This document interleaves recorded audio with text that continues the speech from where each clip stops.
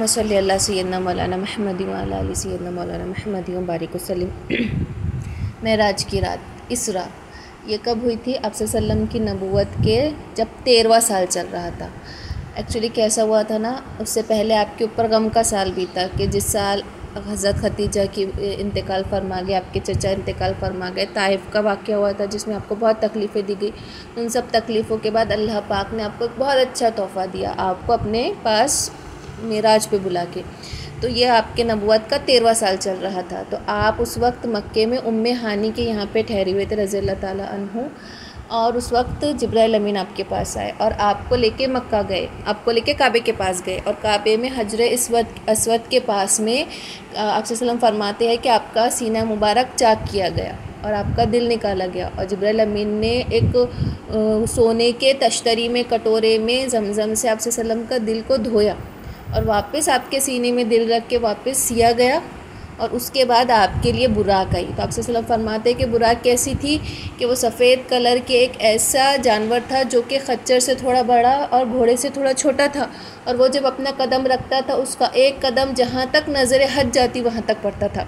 और सबसे पहले बुराक आपको ले, कहाँ लेकर गया? मदीना लेकर गया। तो वहाँ पे जब्राइल अमीन ने कहा कि आप, अल्लाह के नबी, यहाँ पे आप दो रकात नमाज़ पढ़ लीजिए, क्योंकि मदीना ही आपका हिजरत की जगह होंगे और यहीं से आप तमाम उमूर का बाद में हैंडल करेंगे। सबसे पहले आपको मदीना ले ले जाया गया। उसके बाद में आपको कोहे तूर ले जाया गया, जहाँ पे मूसा सलाम पे तौरात नाजिल हुई थी और मूसा सलाम ने अल्लाह से कलाम किया था। वहाँ पर भी जब्राइल अमीन ने आपसे कहा कि दो रकात नमाज़ अदा करिए। उसके बाद में आपको बैतुल्लहम ले गया बैतुल्लहम लेकर गया, जाया गया, जहाँ पे ईसा सलाम की पैदाइश हुई थी। यहाँ पर भी आपको दो रकात नमाज़ पढ़ने के लिए कहा गया। उसके बाद में आपको बैतुल मकदस ले जाया गया। बैतुल मकदस में आपकी बुराक को एक जगह बांधे जब्राइल अमीन ने उस बुराक को एक चट्टान में खीला गाड़ के बुराक को वहाँ पे बांधे थे और वहाँ पे आपके इंतज़ार में एक लाख चौबीस हज़ार जितने अम्बिया है वो सब सफ़ लगा के खड़े थे। जब्राइल अमीन ने वहाँ पे पहली मरतबा अजान दी और आपने एक लाख चौबीस हज़ार अम्बिया और उनके पीछे पूरे फ़रिश्ते और आप वसल्लम ने इमामत की और वहाँ पे आप वसल्लम ने बैतुलमक़दस में सबको नमाज़ पढ़ाई, पूरे अम्बिया को नमाज़ पढ़ाई। वहाँ पे आप वसल्लम कहते हैं कि मैं मूसा सलाम को देखा। मूसा सलाम एक दुबले पतले यमन के कबीले जैसे शख्स थे। आपने ईसा सलाम को देखा, आपने वहाँ पे यूसुफ़ सलाम को देखा और आपने कहा कि ईसा सलाम अबू दरदा जैसे थे, या आपने कहा कि अब और आपने कहा कि इब्राहिम सलाम तुम्हारे साथी की तरह यानी इब्राहिम सलाम आपसे सलम से मिलते जुलते हैं। आप सल्लम के लिए वहाँ से एक सीढ़ियाँ निकल कर आई, जन्नत की सीढ़ियाँ जो सोने और चांदी की, जिनकी जेब से बनी हुई थी। दोनों तरफ़ फ़रिश्ते इकबाल, इस्तकबाल करने के लिए खड़े थे। आप सबसे पहले पहले आसमान पर पहुँचे। वहाँ पर फ़रिश्ते जब्राईल अमीन ने नॉक किया तो वहाँ के फ़रिश्ते ने पूछा कि कौन है? तो कहा, मैं जब्राईल अमीन हूँ। उसने पूछा कि, आपके साथ कौन है? तो कहा कि, मोहम्मद सल्ला वसम तो उन्होंने कहा कि, उनको आने की इजाज़त है? तो जब्राईल अमीन ने कहा कि हाँ बेशक। तो जैसे ही आप पहले आसमान में दाखिल हुए, आपकी सबसे पहली मुलाकात आदम सलाम से हुई। आदम सलाम को हज़रत जब्रामीन ने आपसे आदम सलाम से मिलवाया, आपको सलाम का कहा। आदम सलाम ने भी सलाम कहा और आपके नबूत का इकरार किया। उसके बाद में दूसरे आसमान पे आपको यही सलाम और ईसा सलाम, ये दोनों से मुलाकात हुई। दोनों ने आपसे सलाम को सलाम किया और आप अपने आपके नबूत का इकरार किया। तीसरे आसमान पे आपने यूसुफ़ सलाम से मुलाकात की।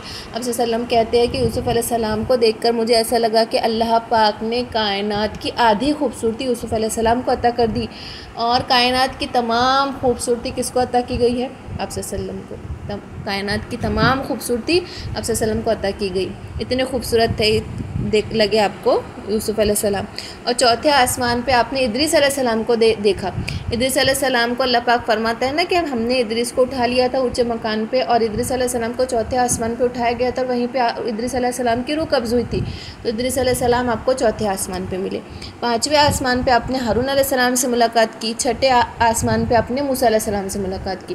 मूसा सलाम से मुलाकात करके, सलाम करके जब आप जाने लगे तो मूसा सलाम रोने लगे। तो आपने वजह पूछी तो कहा कि ये मुझसे कम उम्र का शख्स है और इसकी उम्मत मेरी उम्मत से कई ज़्यादा है। ये कह के मूसा सलाम अफसोस करने लगे और सातवें आसमान पे आपको इब्राहिम सलाम दिखे।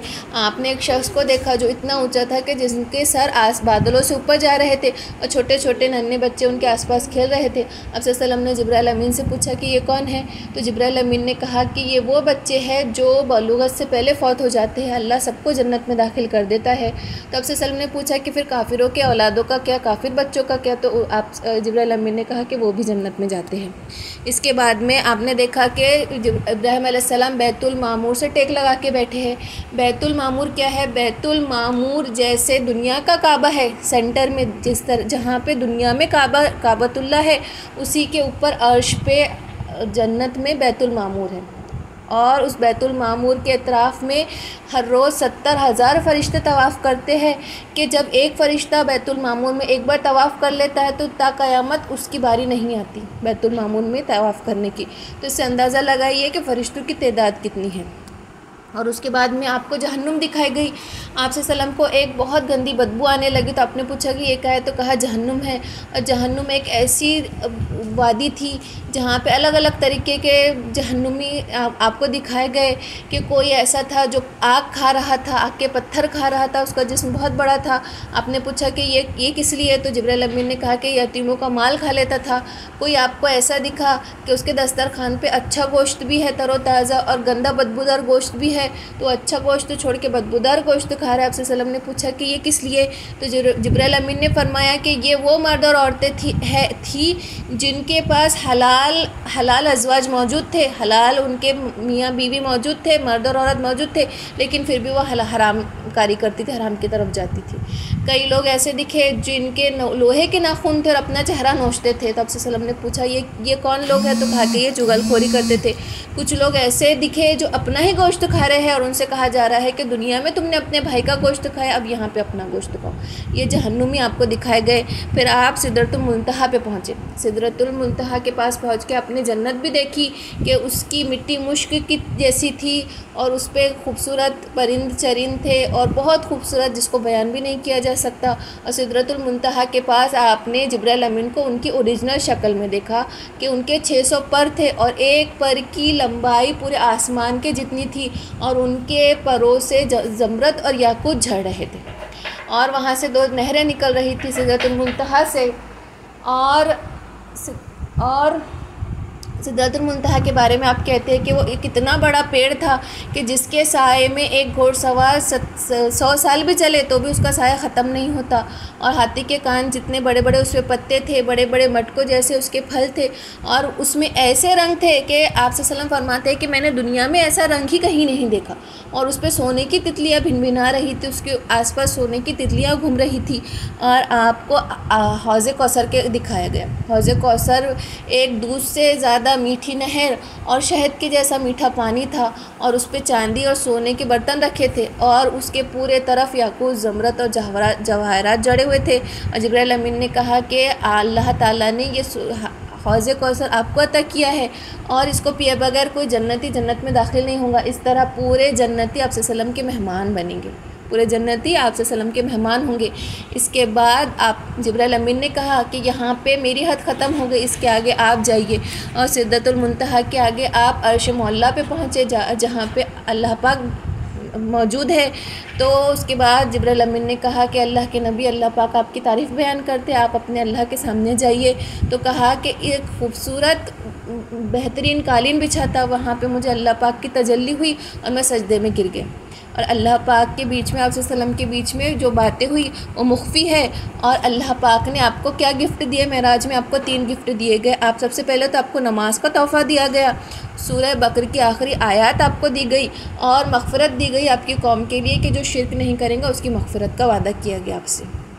आपको उस वक्त महराज में पचास नमाज़ अदा हुई थी और ये तोहफ़ा लेके जब आप जाने लगे तो आपको मूसा सलाम मिले पाँचवें आसमान पर। मूसा सलाम ने पूछा कि, ए मोहम्मद सल्लल्लाहु अलैहि वसल्लम तुमको अल्लाह ने क्या दिया? तो कहा कि, मेरे कौम के लिए पचास नमाज़ें दी। तो सलाम ने कहा कि देखो, मेरी कौम ने तो बहुत नाफरमानी की थी और ये पचास नमाज़ें बहुत भारी है, जो और अल्लाह से उसको कम करवा के लाओ फिर सल्लम वापस अल्लाह ताला के पास गए और पहले अमीन के पास गए और कहा कि मैं अल्लाह से दोबारा मिल के ये कम करवा लूँ। तो जब्राईल अमीन ने कहा कि बिल्कुल अल्लाह के नबी चलिए और आप दोबारा अल्लाह ताला के पास गए और अल्लाह ताला ने उस पचास नमाज़ों को घटा के चालीस किया। फिर आप मूसा सलाम के पास गए। फिर मूसा सलाम ने कहा कि ये तो बहुत भारी है, और कम करवाइए। इस तरीके से कम करवाते करवाते अल्लाह ताला आपसे अल्लाह ताला ने उन नमाज़ों को पाँच कर दिया। और जब पाँच नमाज़ों को तोहफ़ा लेके फिर आप सल्लम मूसा सलाम के पास पहुँचे तो मूसा सलाम ने कहा कि ये भी बहुत ज़्यादा है, तुम इससे भी ज़्यादा कम करवा लो। तो आप सल्लम ने कहा कि अब मुझे शर्म आती है कि मैं इतनी बार मुतालबा कर चुका अल्लाह पाक से कि अब मुझे शर्म आती है, अब मैं इससे ज़्यादा कम नहीं करूँगा, पाँच नमाज़ें ही मैं लेकर जाऊँगा। और अल्लाह पाक ने कहा कि जिस, जो चीज़ मैंने अता कर दी देने के बाद मैं वापस नहीं लेता, तुम्हारी उम्मत को इन पाँच नमाज़ों का सवाब पचास के बराबर ही मिलेगा। अब देखा जाए तो नमाज़ की कितनी बड़ी अहमियत है? नमाज़ की कितनी बड़ी अहमियत है कि पचास, के अल्लाह पाक ने अपने नबी को तोहफ़ा दिया? बुला के तोहफ़ा दिया। अब सोचो कि कोई बादशाह के पास जब उसका कोई महबूब साथी जाए तो बादशाह वापसी में उसको कितने बड़े बड़े तोहफ़े तहफ़ दे दे के भेजता है। ऐसा ही तोहफ़ा नमाज़ है मोमिनों के लिए। कि अल्लाह पाक ने ख़ुद अपने महबूब को बुलाकर अपने खुद से वो तोहफ़ा दिया है। और हम नमाज़ों को कितना छोटा समझते हैं कि क्या कहा गया कि नमाज़ मोमिन की महराज है, कि मोमिन नमाज़ पढ़ के महराज पहुँच जाता है। ये अहमियत है नमाज़ की। इसके बाद में आपसे सल्लम को वापस मक्का लाया गया और जब आप मक्का वापस आए तो आपका बिस्तर ऐसे ही गर्म था जैसे आप छोड़ के गए थे। और को सलम को जब ये बातें बतानी थी बाहर तो आप बड़ी तशवीश में पड़ गए और कहा कि अब मैं ये बातें जब सब बाहर बताऊँगा लोगों को, मेरी कौम वालों को तो वो कैसे यकीन करेंगे? और सलम जब बाहर अपनी कौम में गए और जैसे आपने ये बोलना शुरू किया और अपने महराज की रात के बाद बताना शुरू किया तो हर तरफ़ अफरा तफरी मच गई और हर कोई क्या कहने लगा कि देखो ये साहिर तो था, जादूगर भी था, अब देखो कैसे झूठ बोलने लगा, कैसे झूठ बाँध रहा है कि मैं रातों रात यहाँ से बैतुलमक़दस पहुँच गया और जन्नत और दोज़क और अल्लाह पाक से भी मिलकर आ गया। तो सब लोग हँसी मज़ाक उड़ाने लगे और कोई कोई शख्स उस वक्त अबू बकर रजील तह के पास पहुँचा और कहा कि देखो तुम्हारे मोहम्मद, तुम्हारा साथी क्या कह रहा है कि वो एक रात बैतुलमक़दस में पहुँच गया रातों रात और जन्नत दोज़क अल्लाह सबका दीदार करके आया। तो अबू बकर तह ने क्या कहा कि अगर मोहम्मद सल्लल्लाहु अलैहि वसल्लम ने कहा है तो सच ही कहूँगा क्योंकि आप कभी झूठ नहीं दे, कहते और मुझे इस पर यकीन है। और फिर वो गए ख़बर लेने काबा पहुँचे कि आप वसल्लम की मजलिस में जाके सुनूँ में क्या बात हो रही है। तो हर तरफ़ अफरा, तफरी, शोरगुल मचा था और उस वक्त अबू बकर रज़ी आए और कहा कि अल्लाह के नबी मुझे आप पे यकीन है, जो आप कह रहे हैं वो हक़ है और सच है। और आपको इतमान हुआ और आपने उस वक्त कहा कि अबू बकर, तुमने तस्दीक कर दी मेरी बात की। उस वक्त आपने अबू बकर रज़ी को सिद्दीक का लकब दिया। उस वक्त अबू बकर रज़ी तु को सिद्दीक का लकब दिया गया। और अब एक मरतबा ऐसा हुआ किसी मौके पे कि हज़रत उमर रज़ी तु और हज़रत अबू बकर सिद्दीक में कुछ अख्तिलाफ़ हुआ। तब से सलम ने कहा कि नहीं, अबू बकर को कुछ ना कहो। अबू बकर वो है जिसने सबसे पहले मुझ पर ईमान लाया और वो है जिस, जब किसी ने मुझ पर यकीन नहीं किया था सबसे पहले मुझ पर अबू बकर ने यकीन किया और वो मेरा सादिक है, सिद्दीक है वो। और उनके यकीन करने के बाद, उनके डिक्लेरेशन करने के बाद बाकी सहाबा भी धीरे धीरे आपकी बात सुनने लगे और कुरैश तो मान ही नहीं रहे थे और आपसे प्रूफ मांग रहे थे। तो आपसे सल्लम ने उनको क्या प्रूफ दिया? उन्होंने कहा कि पहले तो तुम बैतुलमक़दस पहुँचे हो तो बताओ कि वो कैसा है। तो आपसे सल्लम के सामने अल्लाह पाक ने बैतुलमक़दस का पूरा नक्शा ला के खड़ा कर दिया और आपने एक एक दीवार एक एक खिड़की एक एक सुतून को निशानदही की कि बैतुलमक़दस का नक्शा ऐसा और ऐसा है।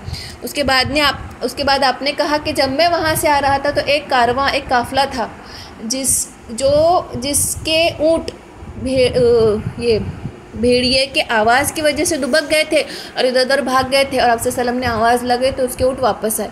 और एक और कारवा था जिस जो एक बड़ा सा मेल ऊँट उसको लीड कर रहा था, उसके पीठ पे एक सफ़ेद कलर का और एक स्पॉटेड वाला सैक था, यानी बड़ा सा थैला है और वो उसको लीड कर रहा है। और उसके पास पानी था, भरा हुआ। मैंने उसका ढक्कन खोला, पानी पिया और वापस उसको कवर कर दिया। और मक्के वाले बेताबी से पहाड़ पे चढ़ के देखने लगे कि हम उस कारवा को देखते हैं कि वापस आता है कि नहीं और कंफर्म करते। तो उन्होंने वाकई में देखा कि एक कारवा, एक काफ़िला चला आ रहा है और उन्होंने उन कारवा वालों से तस्दीक की। तो उन्होंने कहा कि हाँ रात में ऐसा ही हुआ था कि हमारे जानवर जब भेड़िए की आवाज़ से दुबक गए थे इधर उधर भाग गए थे तो हमने मोहम्मद की आवाज़ सुनी सल्लल्लाहु अलैहि वसल्लम और हमारे जानवर वापस और दूसरे ने कहा कि हाँ मेरा पानी भरा हुआ था मुश्क और मैंने फिर बाद में देखा तो वो खाली था और उसका ढक्कन एज इट इज़ लगा हुआ था। इस तरीके से दोनों कारवा वालों ने काफ़िले वालों ने सल्लम की तस्दीक कर दी। दूसरे दिन जब्राईल आपके पास आए। आपको वज़ू का तरीका बताया और आपको फजर के वक्त, जहर के वक्त, असर, मगरब और इशा के अव्वल वक्तों पे पहली दफ़ा नमाज़ पढ़ाई। इस तरीके से कि जबरील अमीन पहले खड़े थे, उसके बाद आप वसल्लम इमामत कर रहे थे और पूरी, पूरे बाकी के कौम के लोग आपके पीछे खड़े हुए थे। और उस वक्त बैतुलमक़दस से आपका किबला था। और फिर दूसरे दिन जबरील अमीन आए और जो आखिरी वक्त होता है, उन आखिरी वक्तों में पाँचों वक्त की नमाज़ें पढ़वाई और किरात कब करना और कब नहीं, ये भी बताया। इस तरीके से आपने तय उस तरीके से तय हुआ, नमाज़ों का अव्वल और आखिर वक्त, और इस तरीके से मोमिनों को नमाज़ का तोहफ़ा मिला।